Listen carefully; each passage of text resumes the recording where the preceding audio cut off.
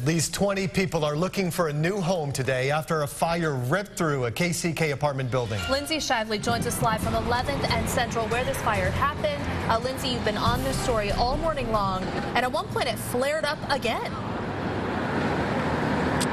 That's right. I'm going to talk about that in just a second. First, I want to tell you that five people went to the hospital this morning because of this. At least two of them are still there, one of them in critical condition. Firefighters had to go in and get those two from this building. And we don't know what caused this yet because the back side of this, even though the front doesn't look too terribly damaged, the back side of this building has collapsed. All three floors from the basement on.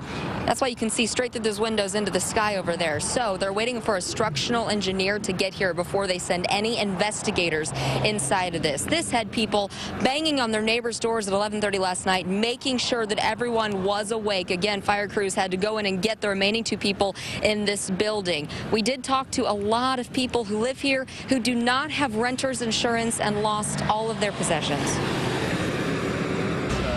Well, I'm like, well, at least I got out alive because it got pretty bad up there. And I first at first didn't hear what he was saying and then I, I understood. I was like, oh my gosh, the apartment's on fire. Grab the kids. We got to go. And I told my kids to get up and just grab the kids and get out.